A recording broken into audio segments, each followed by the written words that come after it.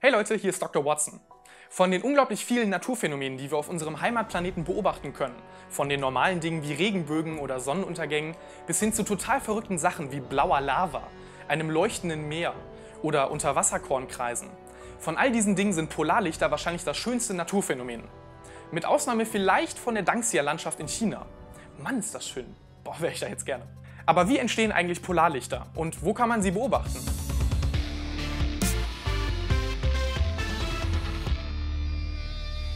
Wie so oft beginnt die Antwort auf unsere Frage mit unserer Sonne.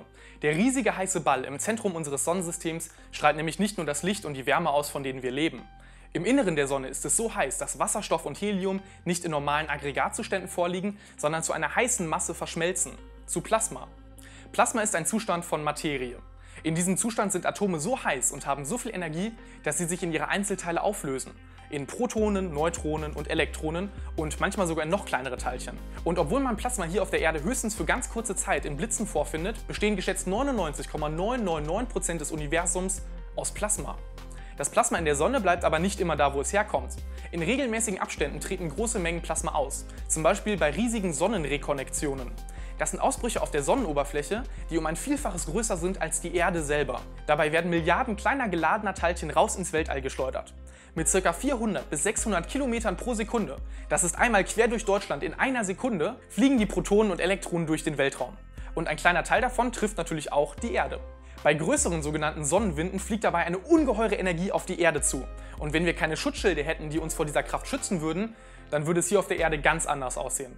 Aber Physik sei Dank haben wir solche Schilde. Das Magnetfeld der Erde ist zum Beispiel so eins.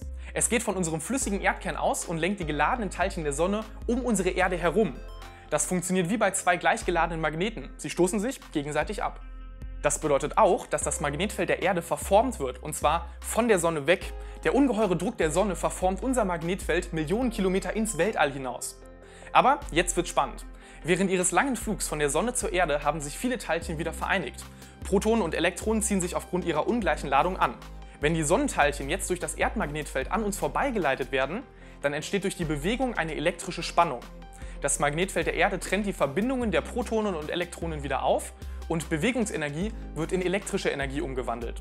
Wenn die Sonnenteilchen jetzt durch das Erdmagnetfeld an uns vorbeigeleitet werden, dann entsteht durch die Bewegung eine elektrische Spannung. Das Magnetfeld der Erde trennt die Verbindungen der Protonen und Elektronen wieder auf und Bewegungsenergie wird in elektrische Energie umgewandelt. Die gewaltige elektrische Spannung, die nun zwischen Sonnenteilchen und Erdmagnetfeld herrscht, will sich entladen. Und das passiert meistens schlagartig. Das kann man sich vorstellen wie bei einem Luftballon, der statisch aufgeladen wird. Elektronen werden von ihren Protonen getrennt und die Spannung entlädt sich dann schlagartig, wenn die Elektronen wieder zurückwandern. Beim Ballon passiert das meistens in Form eines kleinen Blitzes. Die Elektronen der Sonne allerdings fließen unsichtbar entlang der Feldlinie des Magnetfelds Richtung Erde und jetzt kann man auch gut sehen, warum die Polarlichter so heißen.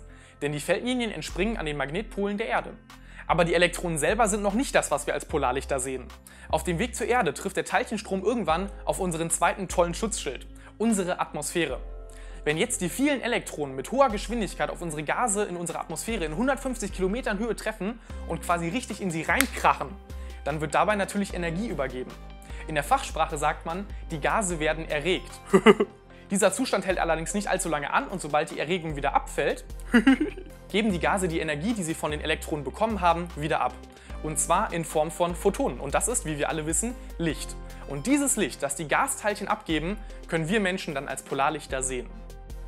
Welche Farbe die Polarlichter haben, hängt dabei von der Art des Gases ab. Grünes und rotes Licht entsteht durch Sauerstoffatome in der Atmosphäre, blaues bis violettes Licht erhält man von Stickstoffgas und es gibt noch ein ganz anderes Spektrum von Polarlichtern, das wir Menschen mit bloßen Augen niemals sehen können. Wellenlängen im ultravioletten und Röntgenbereich entstehen nämlich auch. Es gibt übrigens an Nord- und Südpol Polarlichter, obwohl die Lichter im Norden bekannter sind. Aurora Borealis und Aurora Australis heißen die wissenschaftlichen Bezeichnungen für das Phänomen.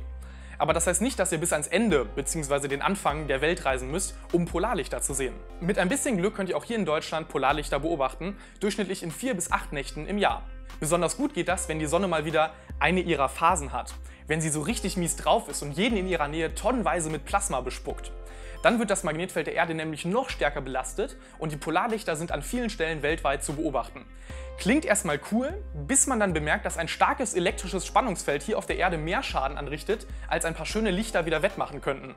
Radio, Funk, Satellitenverbindungen, all das könnte ausfallen und es sind auch teilweise schon Strommästen durchgebrannt, weil die Belastung zu groß war.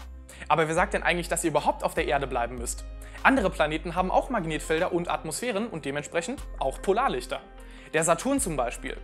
Oder der Jupiter, der die stärksten Polarlichter innerhalb unseres Sonnensystems produzieren kann.